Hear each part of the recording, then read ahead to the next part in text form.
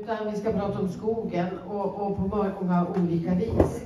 Och får jag börja med att säga så här att vi, vi avslutar snart det första året med det långsiktiga strategiska skogsprogrammet som vi har, tagit i, som vi har arbetat fram. Tidigare så har ju skogsprogramsarbetet varit ett projekt, men det har nu övergått till en mer långsiktig planering där vi har ett sikte åtminstone fram till 2030. Och det där är ju väldigt viktigt därför att skog är ingen snabb grej. Det är ingen quick fix att jobba med skog. Det tar tid för träd att växa, ja ni känner till allt det där. Och då måste man också ha uthållighet och långsiktig strategisk planering i det man gör. Och jag tycker att vi har fått ihop ganska många bra saker i det skogsprogram som vi har nu. Och vi går nu in ifrån de olika intressenterna utifrån våra egna verksamheter och program med att liksom gå i takt med varandra åt rätt håll.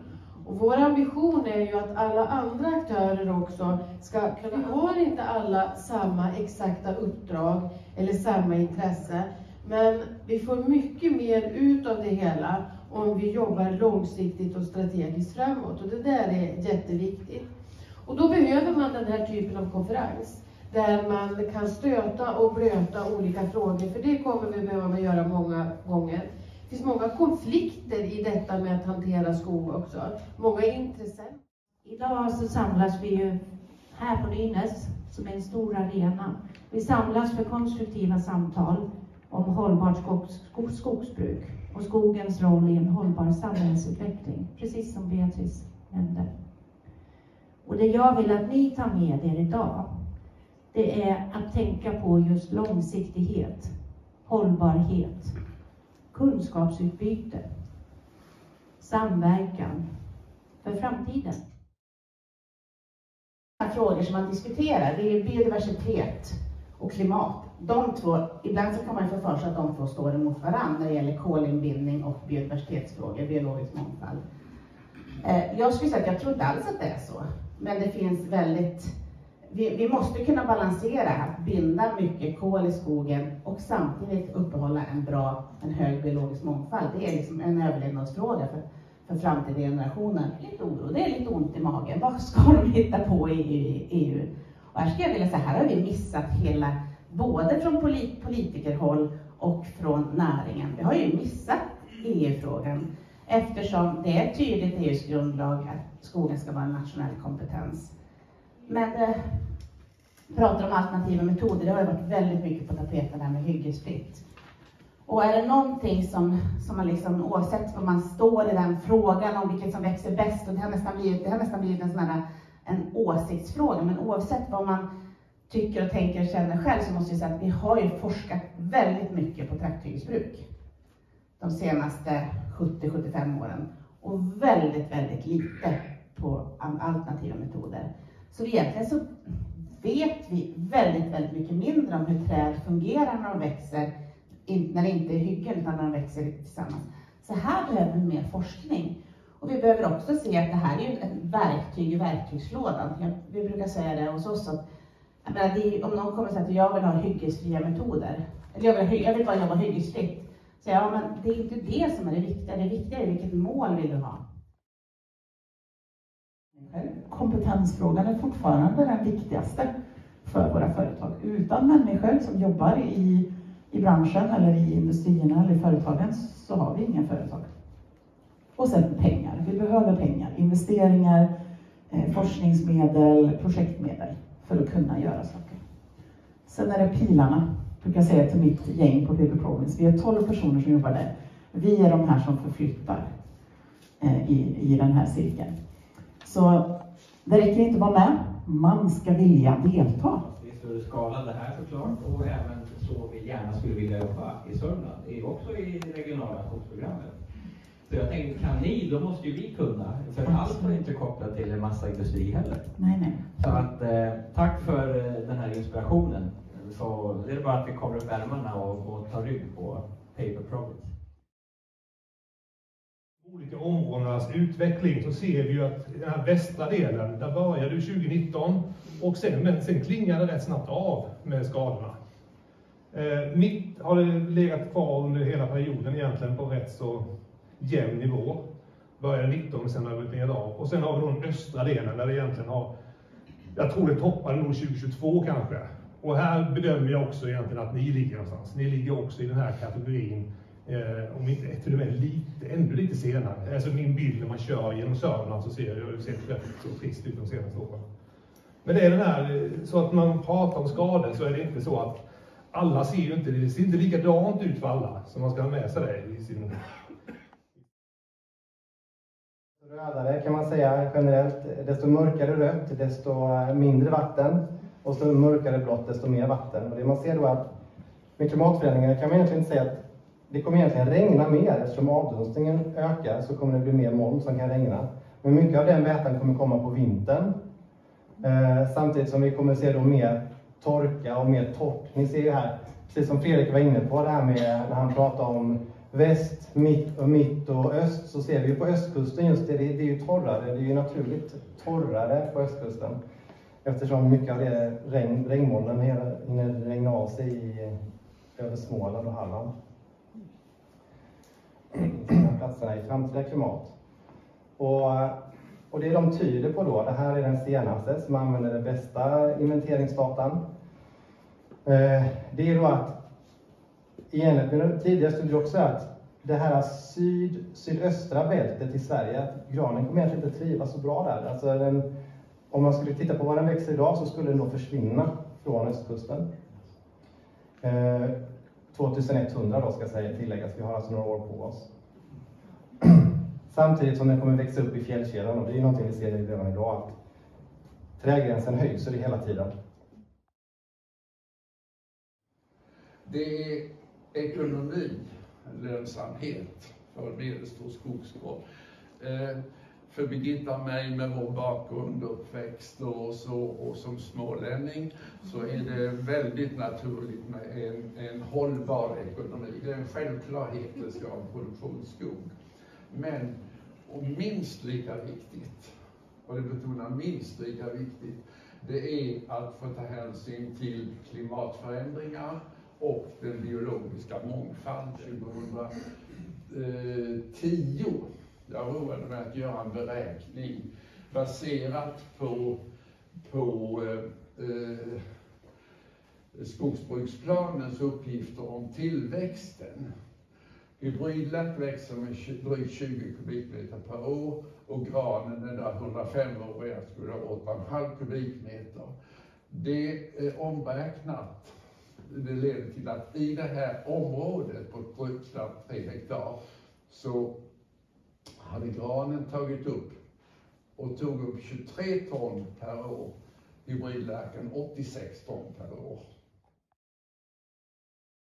Händer inte det här då? Vad är det som, varför har vi inte de här 3200 våtmarkerna? Ja, men det handlar rätt mycket om attityder, kunskap och framförallt incitament. Vad får dig att göra en våtmark?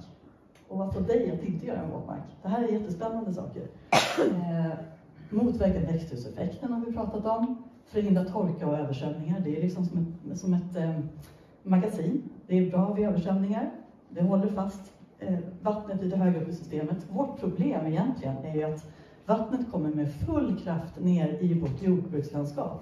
Och där har vi traditionellt gjort våtmarker under en längre tid. Men vi har inte pratat om våtmarker i skogen.